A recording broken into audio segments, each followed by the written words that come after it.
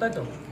সাতই নভেম্বর আমাদের বাংলার যিনি যুব সমাজের প্রতীক এবং যুব সমাজের আগামী দিনে চলার যিনি অগ্রদূত, যার নেতৃত্বে সারা বাংলায় যে সাম্প্রদায়িক একটা দল মাথা চাড়া দিয়ে তার বিরুদ্ধে আমরা লড়ছি, অভিষেক বন্দ্যোপাধ্যায়, সবারই প্রিয়।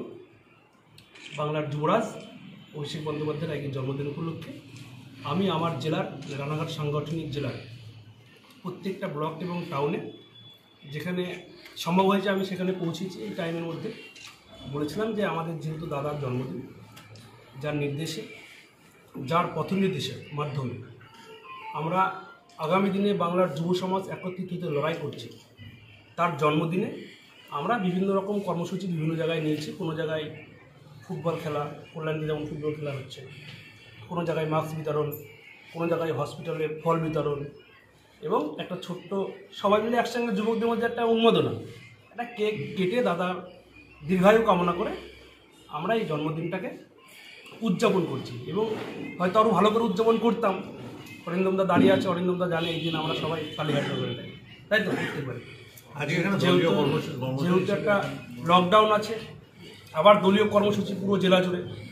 তার মধ্য দিয়েও আমাদের তৃণমূল যুব কংগ্রেসের সমস্ত কর্মী সমর্থকরা আজকে এই দিনটি উদযাপন করছে। এই জন্যই যে বাংলার যুবশক্তি আগামী দিনে বাংলাকে পথ দেখাবে।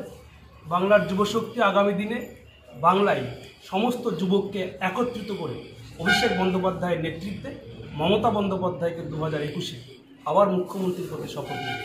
তাই আজকে এই সেলিব্রেশন বা ছোট্ট অনুষ্ঠান উদযাপনের মাধ্যমে আমরা একটা বার্তা দিতে চাই যে আমরা অভিষেক বন্দ্যোপাধ্যায়ের নির্দেশে অভিষেক বন্দ্যোপাধ্যায়ের দেখানো পথে আগামী দিনে বাংলার যুব সমাজ তথা আমার রানাঘাট সাংগঠনিক জেলার তৃণমূল যুব কংগ্রেস একসঙ্গে মাদার এবং যারা প্রশাসনিক পোস্টে আছে এমএলএ সকলের সাথে একসঙ্গে মিলেমিশে আমরা আগামী দিনে লড়াইটা করব সাম্প্রদায়িকতা নিয়ে।